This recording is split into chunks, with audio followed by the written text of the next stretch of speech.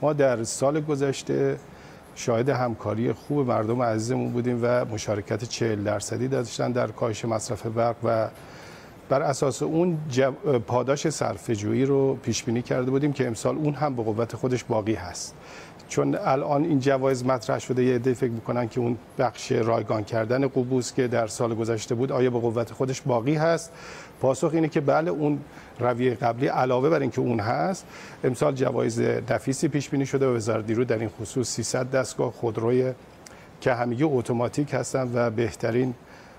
به اصطلاح خودروها دنا 207 و همچنین تارا هستن. اینها رو پیش بینی کردیم که در جزء این جوایز بزرگ این پاداش به اصطلاح صرفه‌جویی و جوایز هستند و غیر از اون هم جوایز لوازم خانگی لوازم برقی میلیون ها جایزه که شامل بسته های اینترنت و شامل اونها هستش در این پیش بینی شده. اگر که هموطنان عزیز از طریق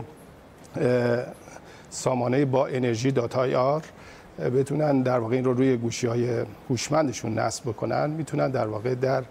جریان کار قرار بگیرن و توی روش هایی که پیش بینی شده برای کاهش مصرف انرژی در این که رفاه رو داشته باشن و با کاهش مصرف خودشون بتونن امتیاز بگیرن و متناسب با امتیازهایی که دریافت می‌کنن بتونن از اون جوایز ارزنده انشالله برخوردار باشن. بله آقای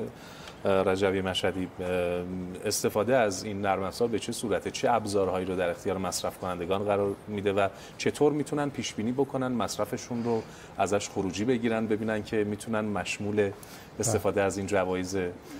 شما باشن یا نه؟ ببینید در این نرم افزاری شبیه سازی طراحی شده که وسایل برقیشون رو که درش ثبت بکنن میزان مصرفشون رو تقریبی می‌تونن تخمین بزنن. و بر اساس مصرفی که سال گذشته داشتن و چون اون هم قابل رویت هست بتونن ده درصد کاهش مصرف داشته باشن امتیاز می‌گیرن و این استمرار اگر داشته باشه امتیازهایی که دریافت می‌کنن این جوایز ارزنده و جوایز بزرگ علاوه بر اون جوایز دوره‌ای که هر دو هفته یک بار و ماهیانه یک بار انشالله تعلق می‌گیره به هموطنان عزیز می‌تونن از اون برخوردار باشن. من توصیه می‌کنم میشه با اقدامات ساده راهکارهای بسیار آسون استفاده درست از وسایل برقی تو اینکه ساعت اوج مصرف و بتونیم کاهش مصرف داشته باشیم. دما رو روی 25 درجه یا 24 درجه و بالاتر تنظیم بکنن. وسایل سرمایشی رو می‌تونن در واقع کاهش مصرف داشته باشن و به تدریج امتیاز بگیرن. امتیاز هم به گونه ای هستش که هر چقدر کاهش مصرف بیشتری داشته باشن از امتیازهای بیشتری برخوردار میشن و بعد قرعه کشی هایی که برگزار میشه اینها با امتیازهای بیشتر می‌تونن نهایتا به جوایز بزرگ برسن. اینجا این نکته رو عرض بکنم. پیش بینی کردیم به جهت اینکه راحتی هموطنان عزیز رو داشته باشیم.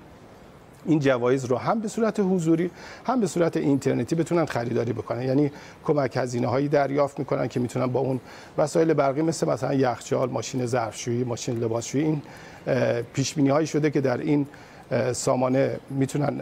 در واقع از اون استفاده بکنن. و همینجا یه خبر خوبی هم بدم برای دانش آموزان عزیز. دانش آموزان عزیز می‌تونن از طریق برنامه کاربردی شاد در این به اصطلاح پویشه با انرژی یا کمپین با انرژی مشارکت داشته باشن و به محضی که در واقع ثبت نام می‌کنن هم بسته اینترنتی می‌تونن دریافت بکنن و هم راهکارهایی که در اون توصیه شده و به کمک پدر مادرها میان برای کاهش مصرف انرژی که همینجا توصیه می‌کنیم ایمیلی هم رعایت بکنن و ما پیش بینی کردیم که در این تر اگر که عکس بگیرن از کنترل مصرف برقشون و طی هفته ارسال بکنن باز می‌تونن هم بسته اینترنتی بگیرن و هم به صورت ماهیانه از قرعه کشی هایی که پیش بینی شده برای دانش آموزان عزیز علاوه بر اون جوایزی که به پدر مادرها داده میشه جوایزی که به کاهش مصرف برق داده میشه دانش آموزان هم می‌تونن بله. از تبله جوایز مربوط به خرید نوشت افزار و سایر موارد انشالله بله. برخوردار باشن